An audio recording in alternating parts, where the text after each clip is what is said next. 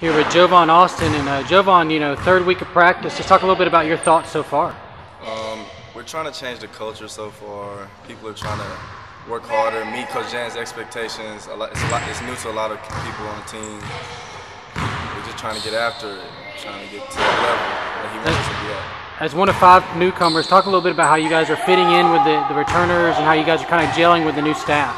Um, for me and like me and Pep as we're like the point guards, so they really have to like revolve around us. Like so, it's easier for us. But as a Delvin, they're they're kind of getting into it. They're changing. It's a new system, so they're trying to work into it and, and adjust. So it's coming. It's coming together though. Talk a little bit about you and uh, um, Pep, you guys being the point guards and, and, and D-Lish as well. Talk about that kind of extra responsibility you guys have and making sure everybody knows where they're at. On the court, everything revolves around like us. Like saying, if somebody else mess up, it all comes back to us. So we we have to be on our p's and q's at all times to make sure we know everything in every other position, so everything flows smoothly. All right, thank you for your time.